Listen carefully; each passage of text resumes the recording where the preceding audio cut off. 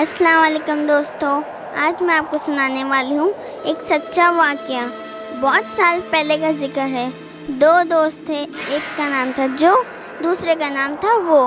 एक दिन जो को एक खौफनाक भूत नज़र आया, जिसे देखकर जो डर गया। जो ने वो को पुकारा, वो का भूत देखते ही इंतकाल हो गया। जब से ही कहते हैं जो डर गया, वो मर गया। तो दोस्तों, कैसी लगी आपको ये कहानी? अच्छी लगी तो उस वीडियो को लाइक कीजिए शेयर कीजिए और मेरा चैनल बेस्ट इन्फो वर्ल्ड को सब्सक्राइब कीजिए। ओके अल्लाह हाफिज़।